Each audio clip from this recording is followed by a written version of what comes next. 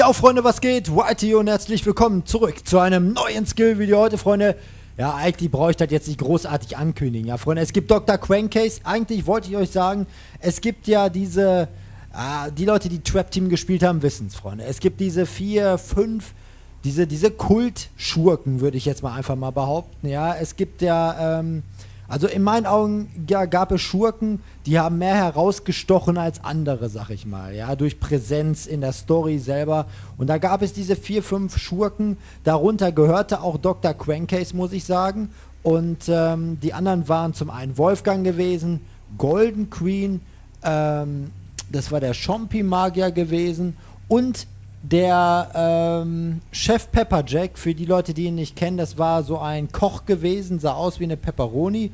Ähm, Koch sehr, sehr stark gewesen in Trap, den muss ich wirklich sagen. Den gibt es ja leider nicht als Figur, was ich wirklich nicht verstehe. Den hätte man gut als Bazooka machen können. Ähm, gut, okay, Freunde, kann man im Endeffekt sowieso nicht ändern, ja. Ähm, aber Dr. Crankcase gibt es und damals fand ich persönlich Dr. Crankcase schon extrem schwach. Ja, habe ich nie gerne mitgespielt, nie oft mitgespielt. Ähm, dennoch habe ich ihn, Freunde, dennoch habe ich ihn, weil er momentan der einzige. Ist das richtig? Der ein, nicht, dass ich jetzt irgendwas Falsches sage. Genau, das ist momentan der einzige Technologie-Skylander, der frei verkäuflich ist. Ja, ne, Dr. Neo Cortex gibt es ja leider nur in der Crash Edition. Und die anderen beiden hier, Chain Reaction und Robo, die gibt es ja noch nicht. Also, um ins Element reich zu kommen von Technologie, musste ich mir einen kaufen. Und das war im Endeffekt dann Dr. Crankcase gewesen. Ja, ich konnte es ja nicht ändern. Ähm, ich persönlich hätte ihn aber sonst nicht gekauft, weil ich persönlich bin einer, ich halte nicht viel von Dr. Crankcase. Andere wiederum feiern ihn brutal übelst, was alles okay ist, ja. Ich verurteile da überhaupt keinen. Ähm, genauso ist es ja bei mir mit Jetwack und mit Gilgrant. Ja, andere Leute, die feiern die übelst. Und ich denke mir so, Leute, Alter, weg mit denen. Brauche ich nicht. Weißt du, wisst ihr, wie ich meine? Activision. Lasst mich endlich mit den Skylinern in Ruhe. Aber egal, Freunde, dennoch gucken wir uns heute Dr. Crankcase mal an. Da ich ihn ja schon habe, werden wir ihn auch skillen. Den Seelenstein haben wir ja schon geholt.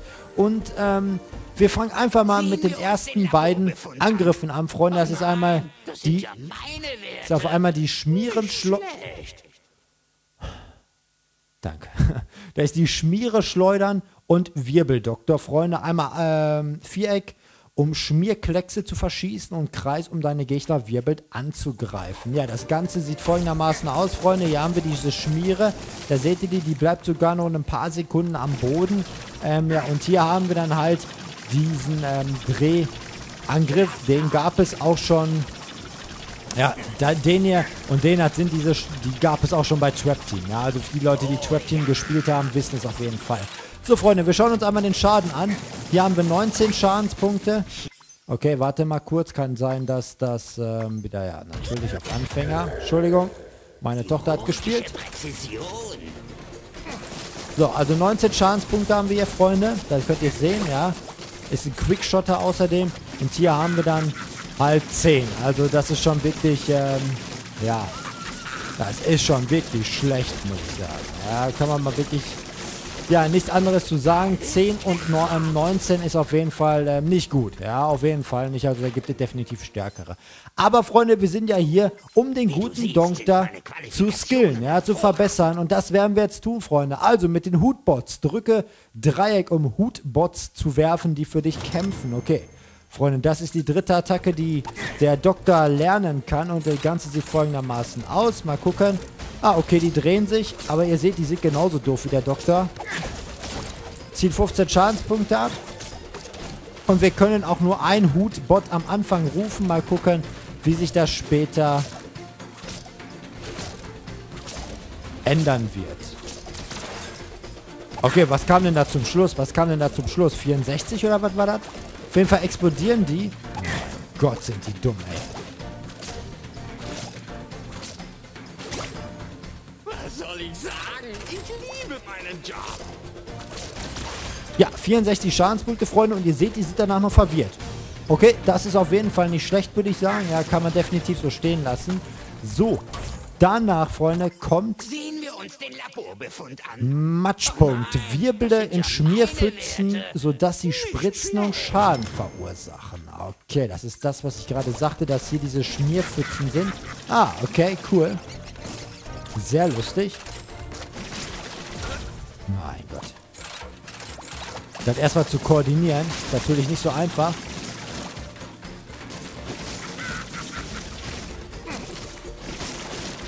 Das sieht aus nach 51 Schadenspunkten, Freunde. Das sieht nach 51 einmalig aus. Ja, so sieht es auch aus. Also, wenn wir da drin rumwirbeln, zieht das 51 Schadenspunkte ab. Und ich frage mich, wieso? Weil, ähm, ja, wenn wir so Volltreffer die Schmiere draufknallen, zieht es nur 19 ab. Und wenn wir da drin rumplanschen wie, wie so ein suhlendes Schwein, zieht es 51 ab. Okay. Ich bin da absolut mit zufrieden. Okay. Weil dafür brauchten wir keinen Weg auswählen. Ist alles okay, alles okay. Und die Schmiere, die liegt ja sowieso die ganze Zeit rum. Also 51 Schadenspunkte bin, bin ich auf jeden Fall mit zufrieden, muss ich sagen. So, ganz aufgewirbelt. Wirbel, Wirbel gegen Hutbots, um ihren Suchen- und Zerstörmodus zu aktivieren. Ja, sehr gut. Das werden wir uns anschauen. Komm mal her.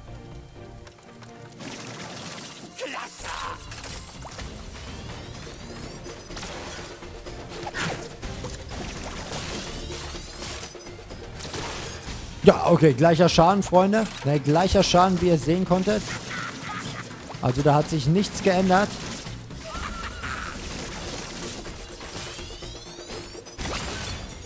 Mhm.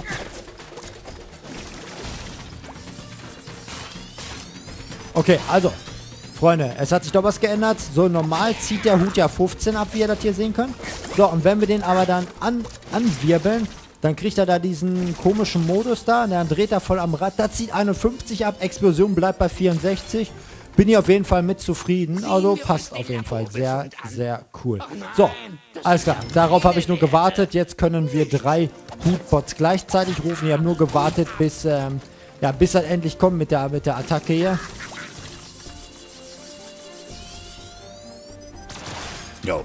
Darauf habe ich nur gewartet, weil ein Hutbot ist schon wirklich sehr, sehr wenig gewesen. Und deswegen drei Hutbots geht auf jeden Fall klar. So, Freunde, jetzt geht ab. Also, oben haben wir echt ätzend Schmierpfützen, fühlen Gegner Schaden zu. Okay. Dann haben wir riesen Schmierschleuder, schießen größere Kleckse, die grö zu größeren Pfützen werden.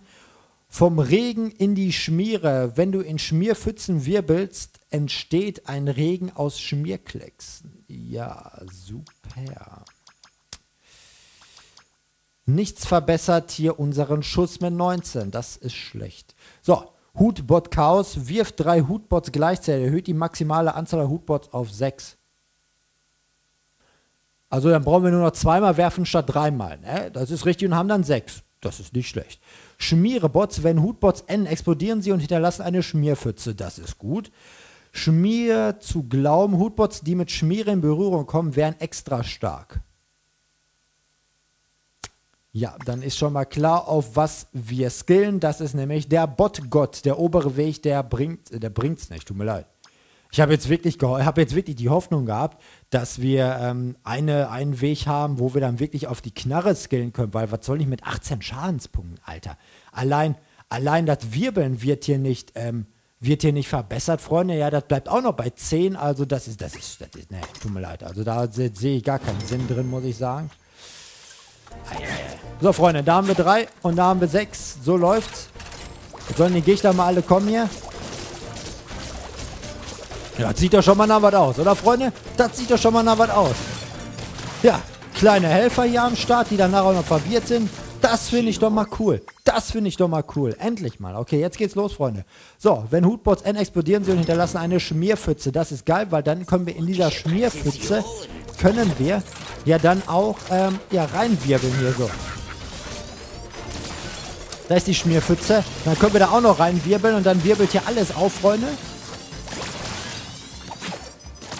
Okay, das ist nicht verkehrt. Das ist nicht verkehrt. Cool.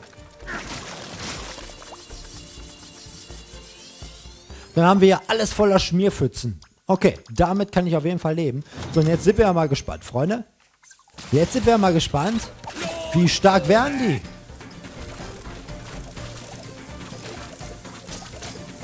Okay, 27 Schadenspunkte, Freunde. 27 Schadenspunkte. Ja. Aber das Ganze wollen wir natürlich auch anders testen. Das Ganze wollen wir auch anders testen. So. Und jetzt. 91, Freunde. 91. Geil. Und 89. Hammer, oder? Das heißt, das heißt, wir rufen hier die Bots, Freunde, ja? Schmieren die hier mit Schmiere dicht. Und dann, wenn die Gegner da sind, dann rennen wir einfach einmal rein. Und dann 91 Schadens, verdammt, Alter, 91 Schadenspunkte bei dem Wirbeln alleine. Das ist gut, das ist richtig gut. Da, da wirbeln wir wieder rein. Da, guck mal. Die können gar nichts mehr machen. Die können gar nichts mehr machen. Geil, geil. Da wieder. Mega. Mega. Das ist doch, das ist doch mal gut. Ein sehr cooler Weg auf jeden Fall. Also hätte ich nicht gedacht, dass die Bots doch nochmal so stark werden. Da muss man mal echt sagen. Cool. Finde ich mega. Auf jeden Fall. Finde ich sehr, sehr cool. Auf jeden Fall. Cool. So, Freunde. Rundumschleim. Halte Viereck, um einen gewaltigen Schmierschuss aufzuladen. Das kaufen wir natürlich, Freunde, für 4000. Das ist die Seelensteinfähigkeit von unserem guten Doki. Sieht folgendermaßen aus. Wir können danach auch nicht mehr so schnell laufen. Auf jeden Fall sind wir jetzt aufgeladen, lassen los. 159er Schaden. Müssen natürlich mal gucken, wie lange laden wir auf. Ja, so eine gute Sekunde, ne? Ja, eine Sekunde laden wir auf. Damit kann ich auf jeden Fall leben, muss ich sagen. Also ich habe jetzt gedacht, das regelt so zwei, drei Sekunden auf. Aber nein, Freunde, eine Sekunde. Dann können wir das ganze Ding sofort wieder loslassen. Und können schön den Gegner damit einpanten. Gut. So, und dann haben wir natürlich noch die Sky Ski-Fähigkeit und zwar die schmierige Schüsse, der ultimative Sensei-Angriff. Schauen wir uns natürlich auch an, Freunde, mit voller Angriffsstärke der, beziehungsweise mit vollen Gegnern hier. Also.